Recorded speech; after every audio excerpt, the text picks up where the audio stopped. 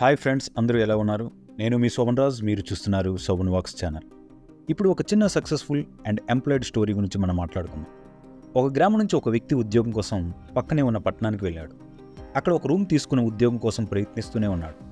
అతను అలా ప్రయత్నిస్తున్నటువంటి టైంలో ఒక కంపెనీలో ఉద్యోగం కోసం అప్లై చేశాడు. కంపెనీ నుంచి కాల్ లెటర్ కూడా వచ్చింది. కాల్ లెటర్ వచ్చి ఇంటర్వ్యూకి వెళ్ళిన తర్వాత ఇంటర్వ్యూలో అన్నీ బాగా అటెండ్ అయ్యి పాస్ అయ్యాడు. ఇప్పుడు ఆ కంపెనీ ఎంప్లాయ్ మీరు సెలెక్ట్ అయ్యారు? మీరు ఇకపైన ఎక్కువగా బయట తిరగవలసి ఉంటుంది అని చెప్పాడు. తప్పకుండా మీకు ఒక బైక్ ఉండేలా ఏర్పాటు చేసుకోండి. అది ఉంటే రెడీగా మీరు ఉద్యోగంలో జాయిన్ అవ్వచ్చు అని చెప్పాడు. అప్పుడు అతను నా దగ్గర బైక్ లేదు అని బదులిచ్చాడు. బైక్ లేకపోతే మీరు ఉద్యోగం ఇవ్వడం కుదరదు అని ఆ కంపెనీ వ్యక్తి చెప్పాడు.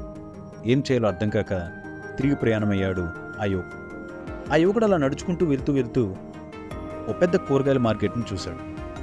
అప్పుడు అతనికి ఒక ఆలోచన వచ్చింది. నా దగ్గర ఉన్న కొంచెం డబ్బుతో ఈ కూరగాయలను కొని అమ్మితే నాకు కొంచెం ఎక్కువగా డబ్బులు వచ్చే అవకాశం ఉంటుంది కదా అని ఆలోచించి ఆ డబ్బుతో కూరగాయలు కొని ఇంటింటికి వెళ్ళి అమ్మి వచ్చిన డబ్బుతో అలా మరుసటి రోజు ఉదయాన్నే సేమ్ అలానే కూరగాయలు కొని అమ్మి దానివల్ల వచ్చిన లాభంతో సాయంత్రం ఇంటికి చేరుకున్నాడు. అతని దినచర్య ఎలా మారిపోయిందంటే ప్రతిరోజు కూరగాయలు కొనడం ఇంటింటికి తిరిగి అమ్మడం సాయంత్రం కల్లా వచ్చిన లాభంతో ఇంటికి వెళ్ళిపోవడం డబ్బులు జాగ్రత్తగా దాచుకోవడం ఇదే అతని దినచర్యగా మారిపోయింది. ఇలా కొన్ని సంవత్సరాలు గడిచేటప్పటికి అతను పెద్ద గుడౌన్ తీసుకొని పెద్ద కూరగాయల వ్యాపారిగా మారిపోయాడు. ఒకరోజు అతని ఫ్రెండ్స్ అతని దగ్గరికి వస్తూ అతని కాంపౌండ్లో ఉన్న అనేక రకాలైనటువంటి కార్లను చూసి ఆశ్చర్యపోయారు. నీ దగ్గర ఇన్ని కార్లు ఉన్నాయా? రకరకాల కార్లు నువ్వు సంపాదించగలిగావా? కానీ ఒక్క బైక్ కూడా ఇక్కడ కనిపించట్లేదేంటి? సరదాగా అలా బయటికి షికారికి వెళ్ళాలంటే ప్రతిసారి కార్లు తీయలేవు కదా? అని వాళ్ళు ఆశ్చర్యంతో అడిగారు.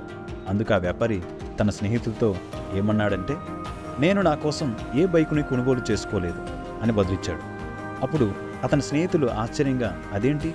ఓ బైక్ ఎందుకు కొనలేదు? అని అడిగారు. అప్పుడు ఆ వ్యాపారి నా దగ్గర బైక్ ఉంటే ఈ కార్లు ఏవి ఉండేవి కాదు అని నవ్వుతూ సమాధానం ఇచ్చాడు మీకు అర్థమైందా ఫ్రెండ్స్?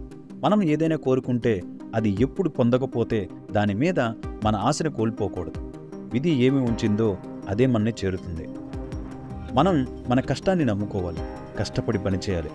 ఆ రోజు ఆ యువకుడికి బండి ఉండి ఉంటే ఆ కంపెనీలో జాయిన్ అయ్యి అదే కంపెనీలో పనిచేసేవాడు.